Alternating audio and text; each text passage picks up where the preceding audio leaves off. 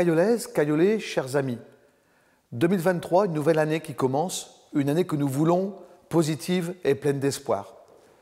Espoir que la guerre entre la Russie et l'Ukraine prenne fin, car bien qu'éloignée de Cailleux-sur-Mer, cette guerre nous a fait prendre conscience que la paix est quelque chose de très très fragile. Espoir que le taux d'inflation baisse et que le pouvoir d'achat des ménages augmente. Des espoirs, chacun en a. Et le conseil municipal et moi-même en avons bien entendu pour notre ville. Et notre cap, c'est de rassembler pour être plus fort, de privilégier ce qui unit sur tout ce qui divise. On pourrait citer Antoine de Saint-Exupéry pour illustrer cela. Il disait, si tu veux construire un bateau, ne rassemble pas tes hommes et femmes pour leur donner des ordres, pour expliquer chaque détail, pour leur dire où trouver chaque chose. Si tu veux construire un bateau, fais naître dans le cœur des hommes et des femmes le désir de la mer. Si de nombreuses choses restent à faire, Cailleux-sur-Mer change. Et le regard sur Cailleux change beaucoup. Des nouveautés à Cailleux, il y en a eu cette année. Chacun a pu suivre l'évolution de la concession de plage, avec l'arrivée d'un nouveau bar de plage, le mouton phare. Si la cabine de Mounet avait déjà donné une amorce de changement, le mouton phare a validé cet aspect nouveau de Cailleux-sur-Mer. Nombre d'habitants d'autres communes proches, ainsi que les vacanciers, sont très heureux de se réunir face à notre plage et de déguster quelques minutes, je ne dirais pas apéritives, mais de fraîcheur, de vacances tout simplement face à un superbe coucher de soleil. Et cet été, ils ont été particulièrement gâtés, avec une chaleur et un soleil que l'on pourrait presque qualifier d'insolent. Les touristes ont été au rendez-vous, plus nombreux peut-être qu'à l'habitude, avec des week-ends d'avant et d'arrière-saison bien chargés. Des touristes au rendez-vous, grâce notamment en priorité au label Pavillon Bleu, obtenu en 2022 pour la huitième année consécutive. Une plage et une ville propre. Merci aux différents services techniques de la ville. Mais également au label Deux Fleurs, Ville et Village Fleuris, renouvelé en novembre 2022 jusqu'en 2025, date du prochain passage du jury national. Ici, je tiens à remercier Martine Crépin, adjointe en charge de ces dossiers, qui fait un excellent travail de recherche de minutie dans la constitution de ces dossiers, indispensable à cette réussite. Les touristes, comme les caillolets, ont pu apprécier également les efforts de la municipalité et surtout de Salvatore, secondé par notre petite nouvelle Charlotte, pour leur dédier un programme d'animation varié et qualitatif. Concerts, podium, théâtre, expositions, dîner croisière, fête de la mer, fête des fleurs, festival des cerfs-volants. Il y en a eu pour tous les goûts et tous les âges. Mais également, notre ville a la chance d'avoir un tissu associatif riche, ce qui prouve la forte implication des Caillolaises et des Caillolais dans la vie du bourg. Un grand merci aux associations pour leur investissement dans la vie communale. Un grand merci également, je n'oublierai pas, à Monique Sablowski, au CCS, qui œuvre avec son équipe du conseil d'administration pour le bien de tous. Il faut reconnaître qu'il y a énormément de travail. Après les deux années de crise sanitaire, il y a la banque alimentaire et la distribution toutes les deux semaines à de nombreuses familles caillolaises ou également des villes voisines de denrées alimentaires de première nécessité. Il y a eu aussi, en accord avec la communauté d'agglomération, Octobre Rose pour la première fois pour Cailleux-sur-Mer cette année. Et toujours la solidarité vis-à-vis des personnes seules lors des périodes de canicule. Un petit coup de fil, ce n'est pas grand-chose, mais cela compte énormément lorsqu'on est âgé et seul. La solidarité, c'est aussi un petit coup de pouce à nos anciens par la distribution de colis de Noël. Plus de 700 cette année, en plus d'un repas festif bien préparé. Une occasion de se retrouver et de papoter ensemble.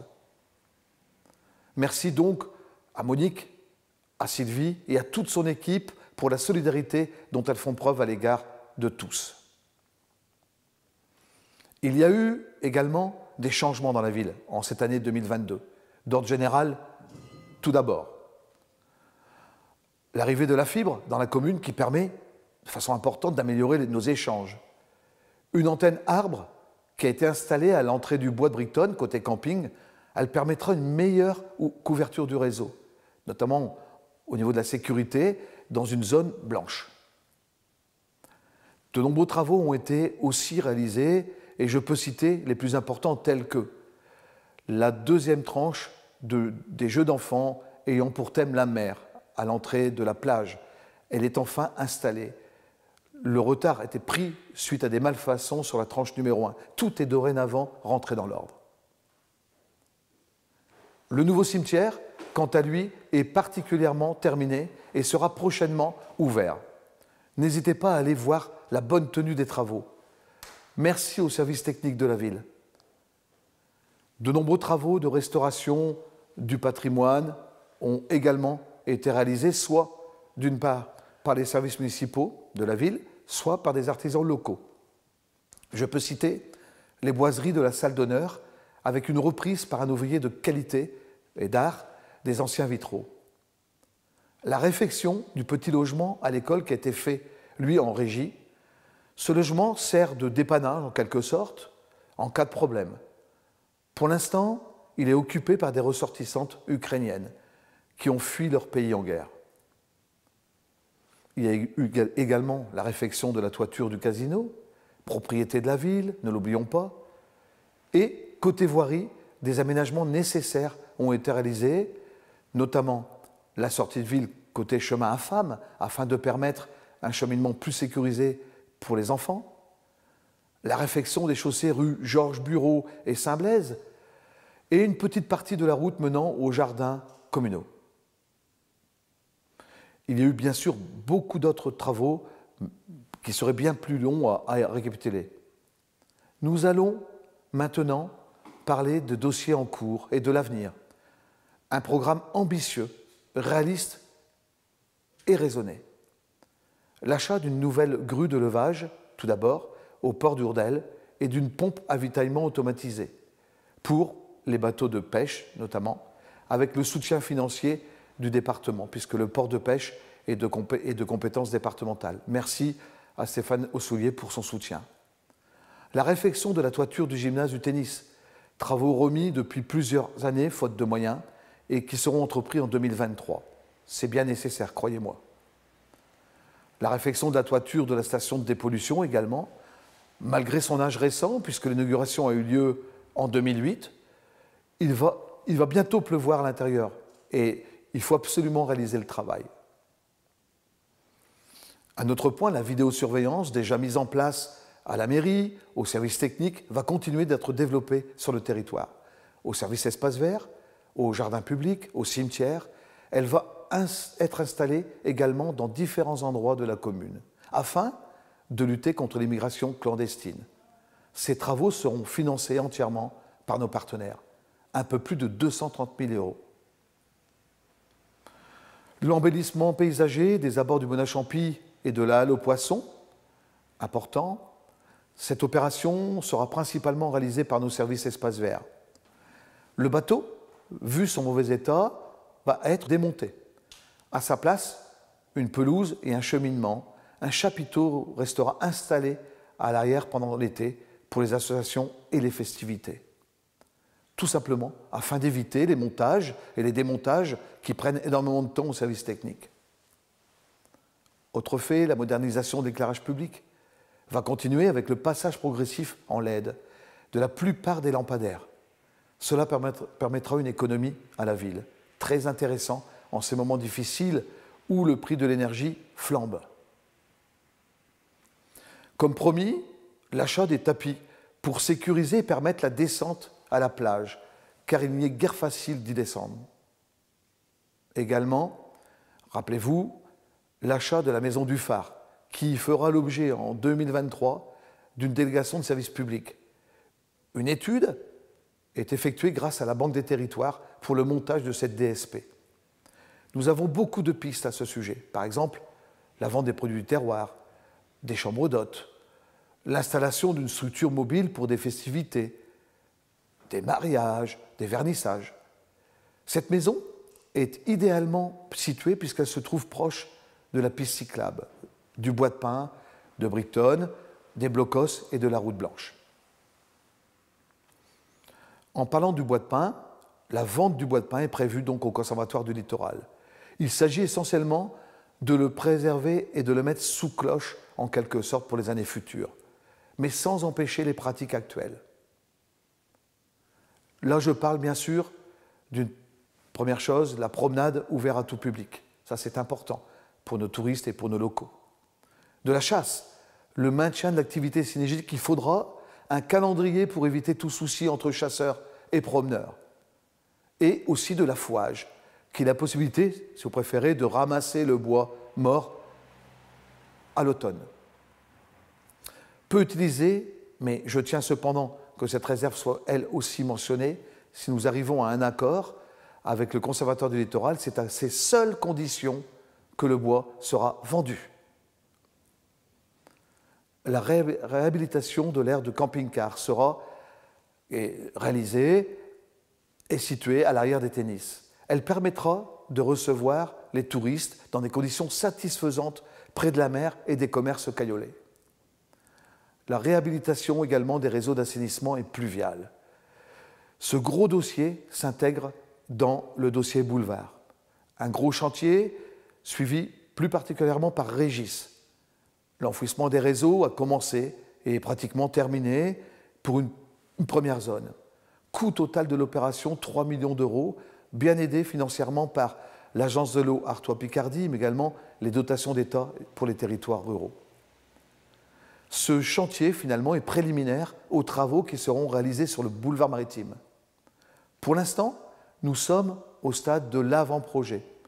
Et il a fallu quelques mois entre réunions de travail, avec les bureaux d'études, Merlin, Base, réunion publique avec la population en juillet dernier à la salle des fêtes, questionnaire participatif adressé aux caillolets et aux résidents secondaires, 762 questionnaires reçus et 393 remarques analysées en un peu moins de trois semaines, pour que soient mis noir sur blanc les attentes des caillolaises, des caillolets, mais également des élus. Il faudra encore une bonne année pour le montage des différentes autorisations administratives et du permis d'aménager. Comme toujours, nous vous tiendrons au courant au fur et à mesure des avancées. Une réunion publique sera prévue pendant les vacances de février, je pense, afin que les caillolets, comme les résidents secondaires, puissent s'approprier ce projet de nouveau boulevard maritime. Une première. Un nouveau dossier qui va être étudié prochainement sera donc la construction euh, d'une habitation, d'un foyer qui rassemblera sur le terrain actuel la voile, les caïteux et les longe-côtes. Il faut effectivement dire que les conditions proposées actuellement ne sont pas propices à la mise en valeur des sports nautiques. Kiki va donc être chargé de ce dossier, qui lui tient particulièrement à cœur. Quant au dossier en cours, il y a toujours celui du PLU, du plan local d'urbanisme. Alors celui-ci, il faut le reconnaître, n'a guère avancé. Toujours contraint par une chose, par une autre, enfin c'est compliqué. Il me faut porter à votre connaissance qu'un dossier a été envoyé dernièrement, préparé par nos services et par le cabinet en charge, Espacurba, de notre plus, bien sûr, afin d'essayer de faire bouger les choses et de faire reconnaître Brighton-les-Pas et la Molière en tant que village important pour les constructions futures. Les résultats de l'étude de revitalisation du centre-bourg ont été présentés en réunion publique à la salle des fêtes de la Molière à la population cagnolaise par le, quartier, cabinet quartier libre missionné à cet effet. Le résumé complet est disponible sur le site internet de la ville. Les conclusions de cette étude, 20 fiches actions, vont servir au programme de Petite Ville de demain. Rappelons que notre commune a été retenue dans le dispositif depuis décembre 2021. Très intéressant car très subventionné. Et dans tout ça, les finances, me direz-vous, qu'en est-il? Eh bien, nous continuons notre objectif depuis 2014 et redressons la barre ainsi que le prouve le ratio d'endettement de la ville, puisque celui-ci est passé de 98,6% en 2013 à 26,55% en 2021. Malgré l'emprunt effectué cette année, ce taux devrait encore descendre puisque le remboursement de l'annuité d'un ancien prêt vient de se terminer et elle était supérieure au montant du nouveau prêt contracté.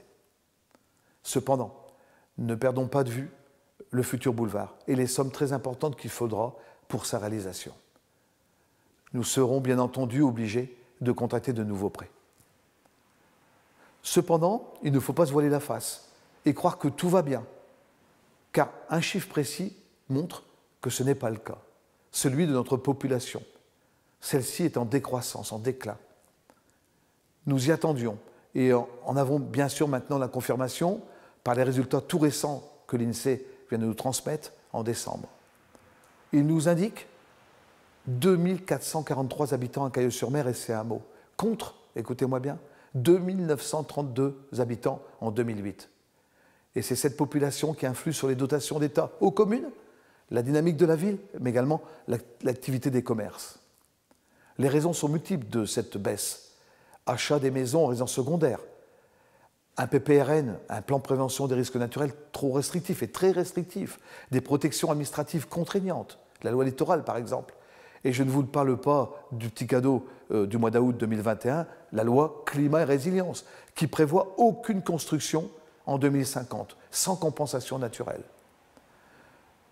Pour terminer, il est à noter quand même un point positif pour tous, la stabilité des taux d'imposition. Ils sont restés les mêmes comme je vous l'avais promis. Avant de vous souhaiter mes voeux, je tenais à remercier l'ensemble du personnel communal, que ce soit le personnel administratif ou bien technique qui est au service de la population.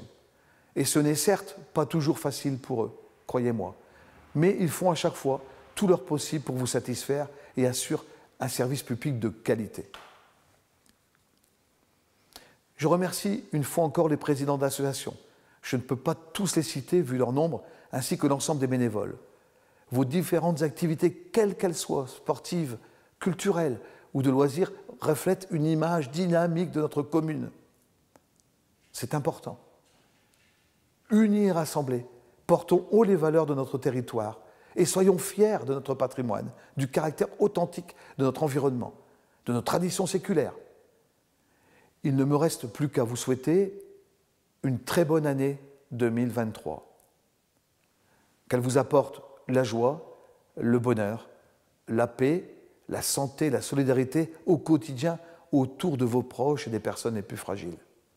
Merci.